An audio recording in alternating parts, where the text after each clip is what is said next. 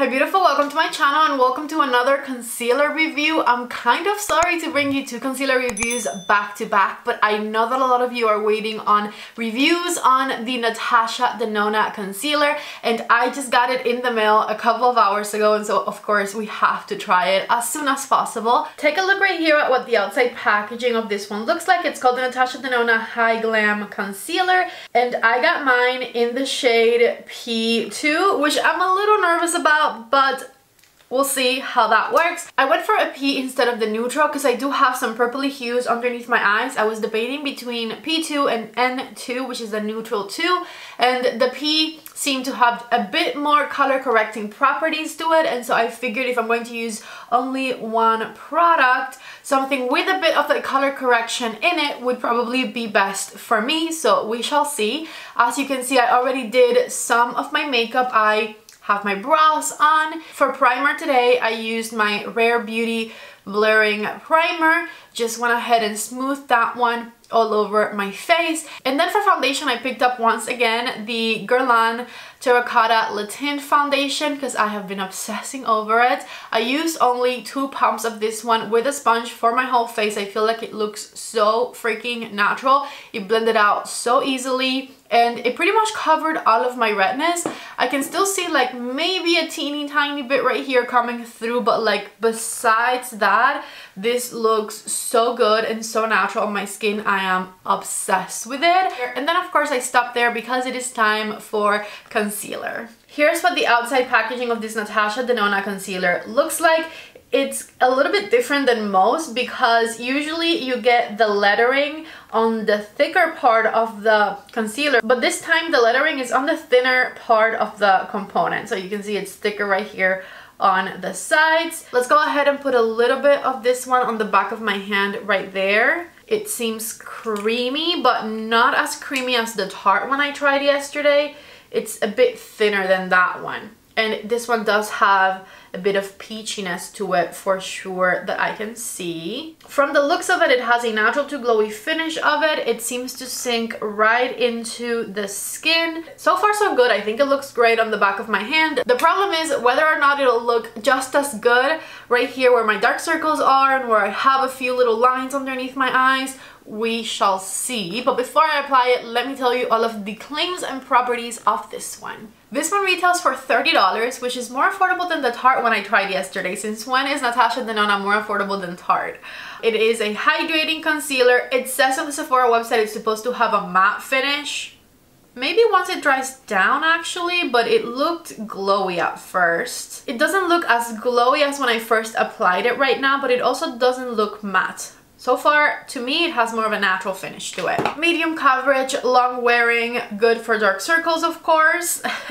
it says it's a game-changing concealer that has a full performance formula and advanced skincare properties. And as highlighted ingredients, it only says botanical stem cell actives powered by a trio of actives. That was a bit vague, right? But I found a bit more information. The Hy-Glam Correcting Concealer is made with biomimetic pigments and texture perfecting microspheres for flawless airbrush results with a weightless and natural look and a supremely flexible feel. On the little pictures on the Sephora website, it also says it's talc free and crease proof this one comes in a whopping 56 shades. This has to have a shade for absolutely everyone. And it says the applicator and the way that the applicator is designed is meant to give you the perfect amount of product to put underneath your eyes. Alright, so moment of truth. Let's go ahead and go for it.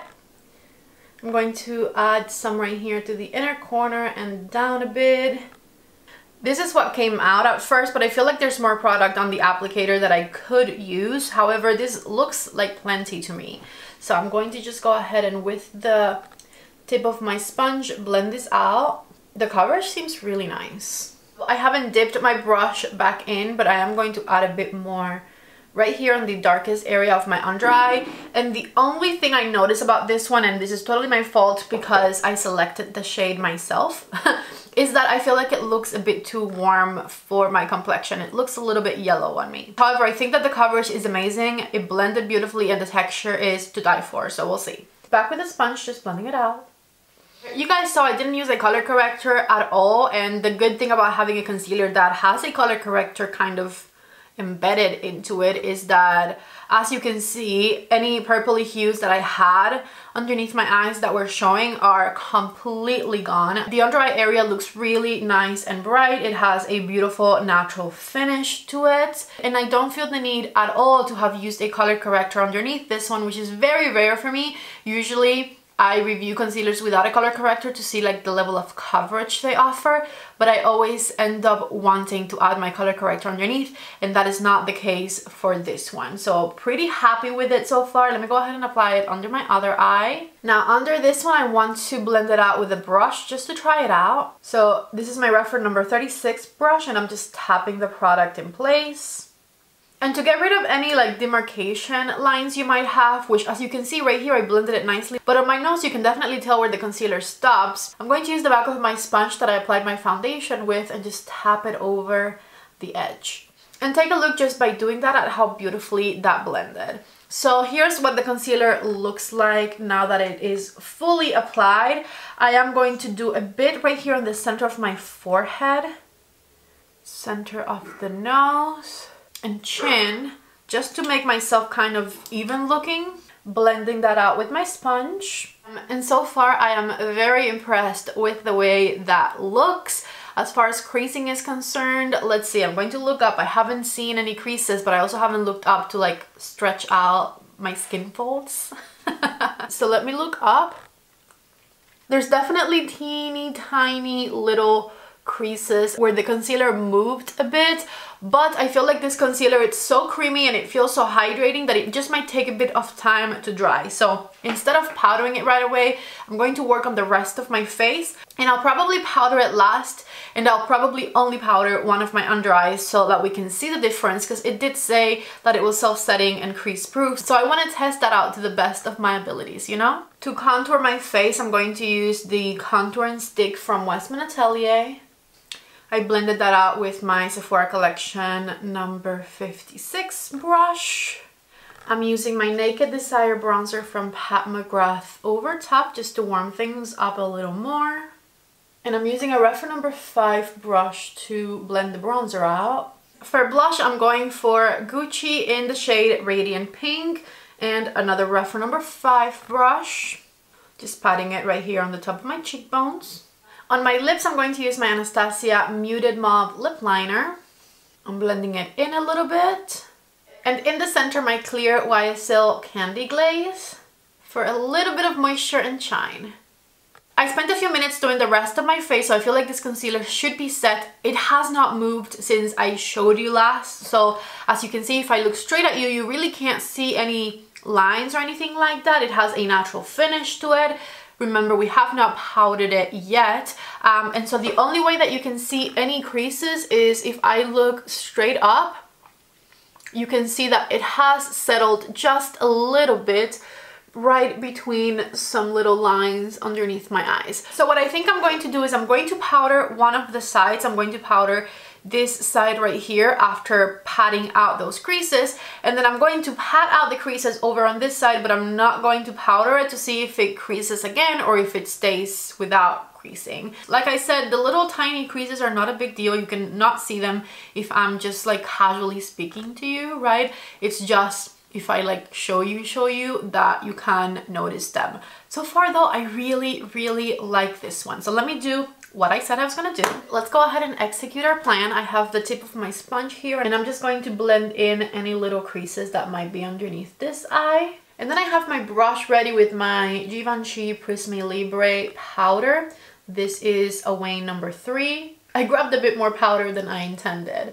All right, so with my Givenchy powder, I just went ahead and set this under eye. And I'm also going to set the center of the forehead just because I want to be matte right here in the center. As you can see, once we added the powder, this side right here looks super, super smooth. And of course, any creases are gone. It looks really, really flawless underneath this eye. I'm going to stick to my guns over here and resist the urge to set it, right? So what I'm going to do is with the brush, I'm going to tap any little creases that I might have on this side out. And now that the concealer is set, maybe it won't crease again. So I'm just tapping them out down here and see any creases that I had right there are gone now. It's 12.43 right now. I have my concealer set and not set. And I'm of course going to wear this makeup throughout the day today to see how the concealer moves or doesn't move underneath the eyes. So far, I'm very happy with it. It has impressed me for a creamy concealer because usually I like more liquidy concealers, but this one just blends out very thinly, I guess.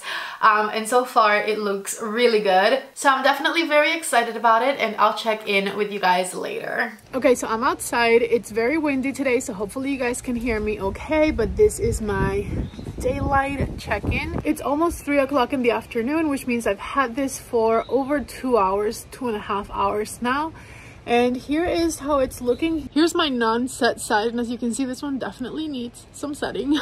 Because it definitely creased back up. Take a look right here. Right? And also i feel like the eye that i didn't set looks a little bit darker. I think it might have worn off just a tad bit underneath this eye. So in that sense i would powder it all the way. Here's how the powdered side looks.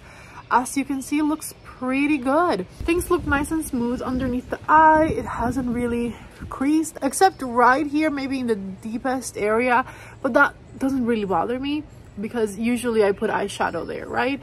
So, um, powder all the way and with powder on and this concealer having a color corrector kind of built in i'm honestly very happy with it also something i forgot to mention again was the color match. I complained earlier that the color match was maybe a bit too warm, but, but as you can see, once I finished up my makeup, once I set things with powder, once I did a bit of bronzer and blush and all of that, I do actually like the color match. So P2 was the right shade for me, I think, because I truly don't think it looks... Hold on, hold on because I truly don't see my concealer looking too warm on my skin right now. So, so far, I really like it so far. I am impressed. If I had to rate it right now, I would probably give it like a 9.8. um, but I will see you guys later to see how it continues to wear throughout the day. So far, powdered is 100% the way to go. It is 5.20 now and I am back for the last check-in. As you can see, with these lights at a regular distance I feel like both under eyes look pretty good I showed you up close earlier and this one that I did not set with powder has creased a little bit which you can't really see unless like I pull down my eye or I look up, but it does have some creases in it. So I would 100% recommend that you set it with a bit of translucent powder because as you can see, my translucent powdered side looks a lot smoother. There's no shininess coming through the way I have shininess coming through right here. And it barely, barely creased. There's like one, one little line right there where it moved a little bit but unless I pull my eyes down a lot you really can't see it at all. And if I'm just talking to the camera or anyone the way, the way I am right now you really cannot tell at all. So I'm going to go ahead and instead of a 9.8 out of 10 I feel like with the translucent powder I could go ahead and give it a 10 this one is really nice. Even though it's a creamier formula it blends out beautifully it wears beautifully throughout the day as you can see I will of course mention this concealer again in an updates video and tell you after I've worn it a whole bunch of times how I feel about it. First impressions from today, I think it's a 10 out of 10. I really do love it, but I would always set it with some translucent powder because I do like this side a lot better than the other. So let me know what you thought about this one down in the comment section. I honestly didn't expect to like it the way that I ended up liking it. I felt like it was going to be a bit too thick, a bit too heavy for me. I thought it was going to crease more than it did. I thought it was going to maybe show my texture a bit more. So it was a pleasant surprise for me to see how thinly and beautifully this one blended out. Lastly, I'm also very happy with my color selection. I didn't need to put a color corrector underneath and my eyes have looked really nice and covered and bright all throughout the day. So once again 10 out of 10 i'm very very surprised and very happy that i love it this much. So if you're interested i highly recommend it. Please if you end up buying it use the link i'm leaving you down below in the description box. Whenever you shop for my links you are helping out my channel. And if you like today's video don't forget to please give it a thumbs up. Don't forget to subscribe before you leave. And i hope to see you back in the next video. Bye